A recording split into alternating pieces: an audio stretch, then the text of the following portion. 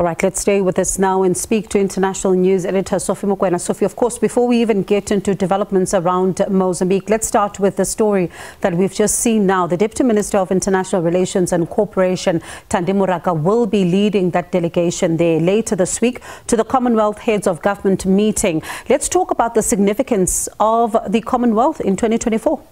Well, I think many people are saying that Commonwealth must transform, and the candidate for SADC Joshua Setipa, says indeed it must do that because when you look at the discussions right now in relation to the global uh, leader, that is the, the United Nations, there are calls for the UN to transform, particularly the Security Council. And therefore, he says that uh, there's nothing wrong if people are challenging the Commonwealth to do things differently. As you heard in that package, you have uh, people who are questioning the role of uh, the king and that uh, as head of, of state, but ceremonial in the United Kingdom. Why is he head of state of the Commonwealth if it's about these countries? And therefore, I think that uh, debate will continue, but uh, the Commonwealth can still play an important role because we have these powerful nations and not so powerful nations where they come together and talk about issues that are affecting them. And there's no way they can ignore global uh, challenges. And also on the margins of this summit, you can have countries discussing the current challenges facing the globe. And unfortunately, South Africa has uh, sent the deputy minister. I'm told that uh, when voting comes on Friday, when countries will be voting for the Secretary General of the Commonwealth, only full ministers vice president or deputy president or the president can cast the ballot. And therefore uh, maybe this will be resolved but it looks like South Africa won't be able to cast the ballot for the Secretary General of the Commonwealth, which will be a setback because you really need all those votes, particularly as you know that uh, other countries in the West have also put up candidates, Ghana and Gambia, and people are saying, but West Africa did have its chance when it was Chief Emeka Anyaoku. And this time around, it's time for the southern region because, as you pointed out, it's a rotational basis. And therefore, it's the time for Africa, but Africa is not united. And it's going to be interesting to see how that one unfolds, particularly on the South African front. But there's also, of course, as you spoke about challenges, um, tensions continue to simmer in Mozambique with protesters um, and, of course, opposition, you know, leaders claiming electoral fraud, as we saw earlier on, saying that they're going to be putting on the pressure. Indications, of course, are suggesting that the, you know, the governing party has won. What's the latest?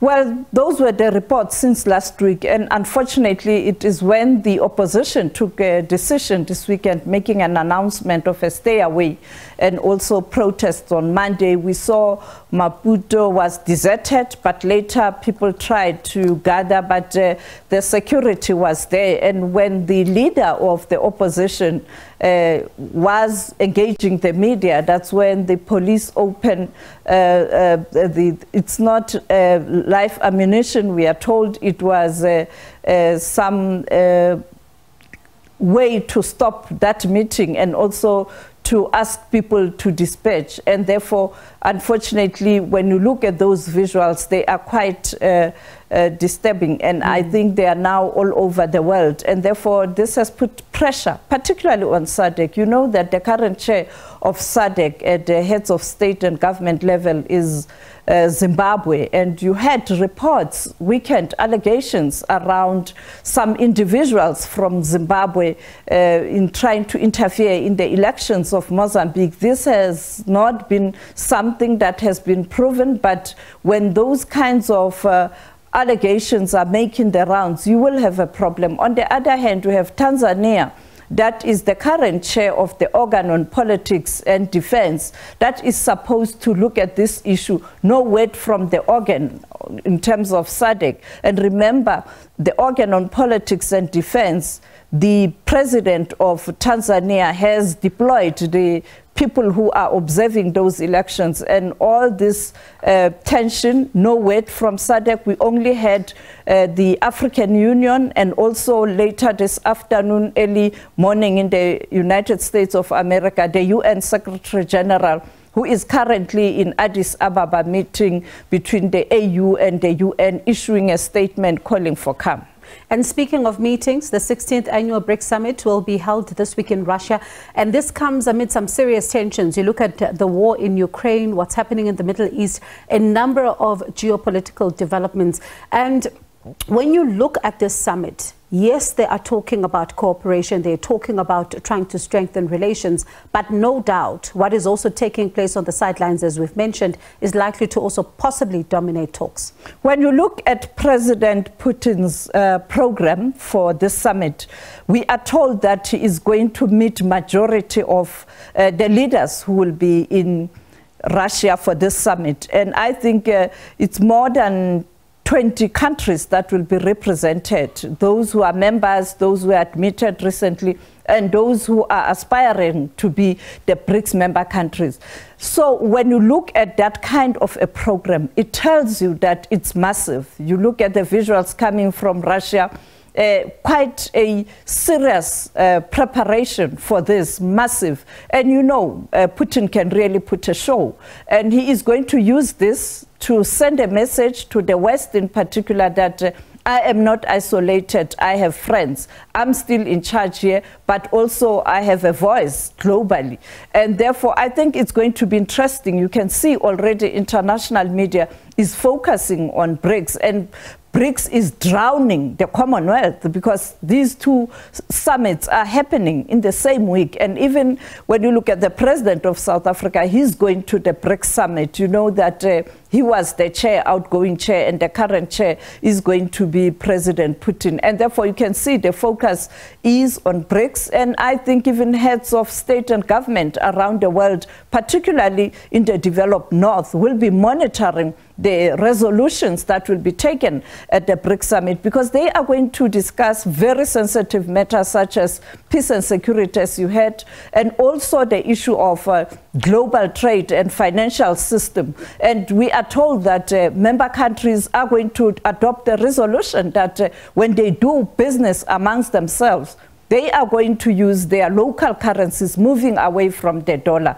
Others are even pushing that there should be a BRICS currency.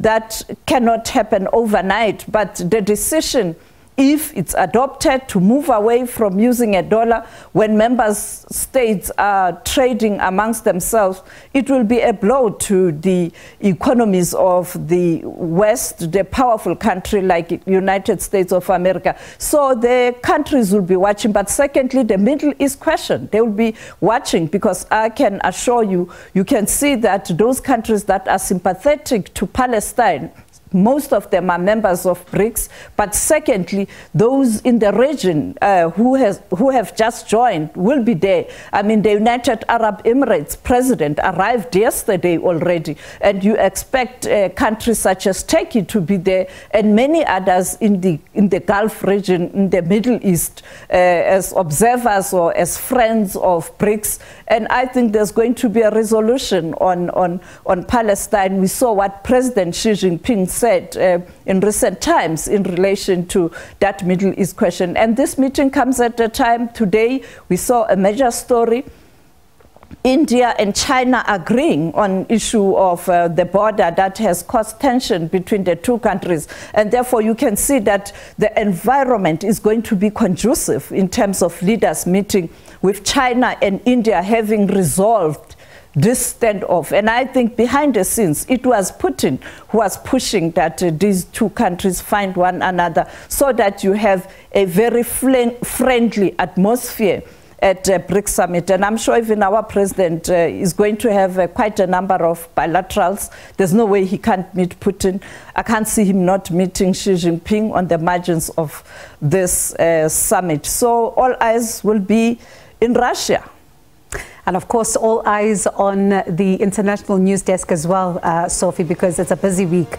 Um, as you say, these many developing stories here. And of course, do trust the SABC to bring you all the very latest. That was the international news editor, Sophie Mokoena. We'll take a short break. When we come back, remember, we still have a conversation that's going to look at the issues around illegal firearms that have been proliferating the streets and the possible link with some of the mass shootings that we've been seeing.